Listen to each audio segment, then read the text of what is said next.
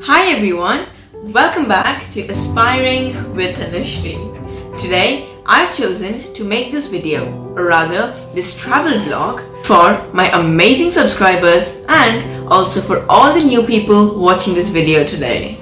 This video is about international travel during these difficult times wherein the government of India and Air India are doing a great job in getting back Indians to India through the Vande Bharat mission flights. If you're one of those people who is waiting to come back to India from the UK, then hang in here because this video will cover every tiny step that I've experienced during the travel. To update you on my travel, I traveled along with my parents and my brother by the Air India flight through the Vande Bharat mission from the Heathrow Airport, London to the Chhatrapati Shivaji Maharaj International Airport, Mumbai. And then we took a domestic flight to the Rajiv Gandhi International Airport, Hyderabad. And that was our final destination. Now, let's get started with the vlog. Going by the new guidelines of the Government of India from the 8th of August 2020, whereby institutional quarantine at the first airport entry in India, which was Mumbai in our case, is exempted if one undergoes a COVID 19 test 96 hours before flight time and provides an authentic COVID 19 negative test report. The reason we took a domestic flight to Hyderabad was because of two reasons. One being that there were no Air India international flights from London to Hyderabad. And the second reason being that there were no domestic feeder flights after an international flight. Incidentally, our travel date was also on the 8th of August 2020. So we decided to utilize the exemption. We logged in to the UK government website on the 5th of August 2020 and booked a test at our nearest NHS test centre. Also, the test is free of charge. When booking the test, one can add the booking of three more people who stay together and that makes it four people in one form. After we booked our slot, we made our way to the test centre. The Sheffield City Council is doing a great job in making people aware of how important it is to stay safe. After a few minutes of walking, we reached the test centre. And here is a board that directs us. This is what it looks from the outside. It is a very small setup, looking more like tents. There are instruction boards, posters, catalogs, and many more, along with some lovely volunteers there to guide you through every step of how to do the test. The whole thing took us not more than 15 to 20 minutes, and most of it was spent in photo identification, getting familiar with the test, and submitting it because the main test hardly took us about 20 seconds and that was it. The result will be sent to you through a message or an email depending on what you chose while filling the form in the next 24 to 48 hours. We got our result 26 hours after the test was given. Also, one last important thing to remember is that do save a copy of the NHS given COVID-19 negative test report as a PDF file and then also take a printout and keep it in hand. Next would be to fill up two forms, namely the self-declaration form and the apply for exempt form. Now, let's take a look at where you can find these. You type in New Delhi Airport on Google and open its official website. On the top right hand side, there is a box which says Air Suvidha. Clicking on that brings a drop down with the options of fill self-reporting form and apply for exemption. You have to fill both of these one by one. First, fill the apply for exemption form. Your full name, your date of birth, your gender, your contact number along with the country code, email address, passport number, and here you upload your passport copy. Upload your NHS COVID negative report PDF. Select the number of passengers traveling and fill in the co-passenger details. And do upload the passport copy of each passenger. Lastly, read the two checkboxes and tick them in and submit the form. Upon submission, you will receive a request number. Next, go back to the Air Suvidha column and select the self-reporting form. This is where you enter your request number received from the previous form. Again some more details and once done click next and finish filling the form.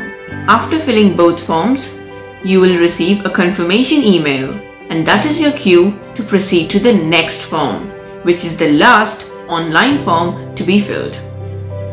For this form you open a new tab and search High Commission in India, London on Google and enter the official website.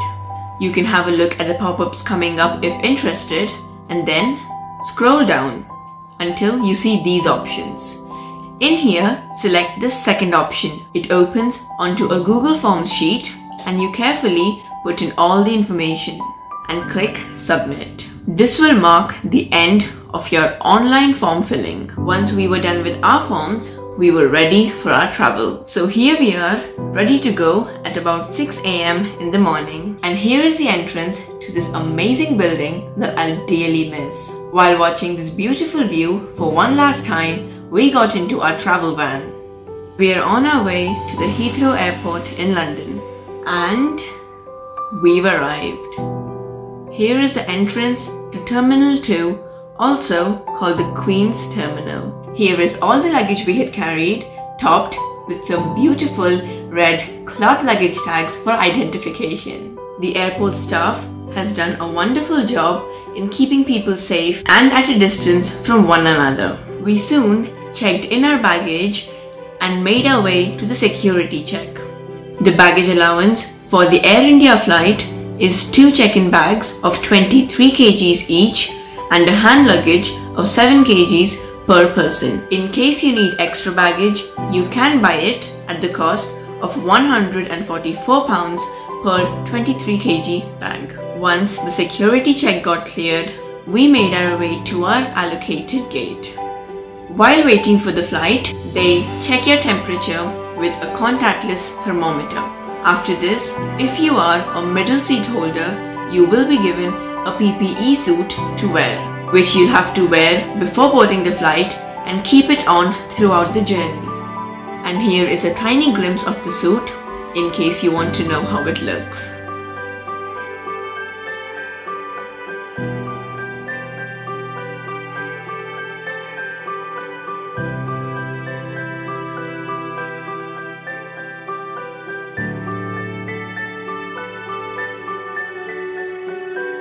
On the way to boarding your flight, you will be given a paper copy of the self-declaration form you had filled online. Please fill this again as a duplicate. The entire flight crew will be covered in PPE suit and will be at a very safe distance from the passengers. Once you get in, you will find something like this kept on your seat. You will also find this wonderful host smiling at us throughout the journey. You will find a box labeled meal box. There will be another packet where you'll find some tasty dry snacks for you to eat during the flight. And the third plastic pocket will contain a face mask, wet wipe sachets, and a face shield. Upon opening the meal box, this is what it looks from the inside. What you'll next discover is that beneath the meal box, there is another box called a snack box. And this is what this has in the inside. Do have your face masks worn all the time inside the flight, apart from the time you're eating, and keep sanitizing your hands as frequently as possible. We also carried a small bag of homemade food and we were allowed to carry this extra bag along with our cabin baggage. We finally landed in the City of Dreams aka also the place where I have some of my best memories. Soon after landing, we submitted the paper copy of the self-declaration form we had filled in. Next, we cleared the customs immigration and collected our checked-in baggage. A thermal screening again took place. Then starts the quarantine process. You follow the route and next stop at a place where there are people in different counters representing different states and cities like Mumbai, Pune, Tamil Nadu, Telangana, etc. As the self-declaration form was first filled online, they will already have your names in their list. And this is where you submit the paper copy of your NHS given COVID negative test report. Our report got accepted and we were exempted from institutional quarantine. After receiving the exemption, we showed them our earlier booked Air India domestic flight ticket from Mumbai to Hyderabad. We had to fill in a few more declaration forms and upon checking of all of these, we were given the transfer to Hyderabad. The transfer from Mumbai to Hyderabad was with the usual Air India domestic flight, but this time not through the Vande Bharat mission. They did not allow us into the domestic area of the airport until 3 hours before our flight. So we had to stay back at the international area for some time before we made our way to the domestic flight area. In case the time between both your flights is long, there is a transit hotel available at the airport. Another area I would like to talk about is the Aarogya Setu app, a brilliant initiative by the Government of India to spread awareness of the coronavirus in India. You will be constantly reminded throughout the journey to have it installed on your mobile phones and register. Once landed at the Mumbai airport, we were asked to show the installed app on our mobile phone. As in our case, my brother and I did not have Indian mobile SIM cards. We informed the same at the airport and we were given an Aarogya Setu app exemption note from the officials at the Mumbai airport. The usual process again follows here. You check in your baggage, receive your boarding pass, clear the security check and make your way to your boarding gate.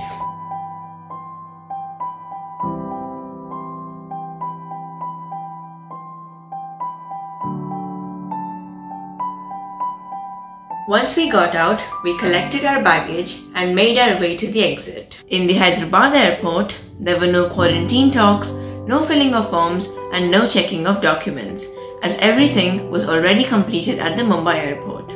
We had our temperatures checked for one last time and the doors opened to the exit and we were free to go home and were asked to complete our 14-day home quarantine. And now we are at home in Hyderabad undergoing the same.